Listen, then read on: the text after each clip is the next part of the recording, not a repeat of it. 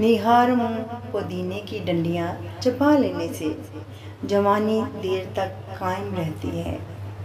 गन्ने का जूस हाजमे के लिए बहुत अच्छा होता है। इससे जिगर मज़ीद अच्छा काम करता है।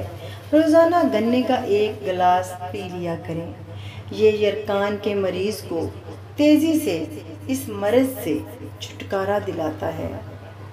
पपीते के पत्तों का पेस्ट बनाकर पंद्रह दिन तक मुसलसल इस्तेमाल करने से यरकान जैसी बीमारी से आसानी से निजात मिलती है। अगर कब्ज़ ना जाती हो तो इस कबूल का छिलका गर्म दूध में मिलाकर पी लिया करें। होंठ फटने लगे तो गाय का कच्चा दूध लगा लो। जिनको जोड़ों के दर्द का मसला हो, वो सुहांजना की फलियाँ पकाकर सालन खाया करें। निहार मुँह उबले हुए चने खाने से कभी भूलने की बीमारी नहीं लगती। जिनको औलाद ना होती हो, वो जुमे वाले दिन यतीम, मस्किन बच्चों को खाना खिलाया करें। बहुत जल्द अल्लाह उनको औलाद अदा करेगा। जिगर की खराबी में माल्टे का इस्तेमाल ज़्यादा करें।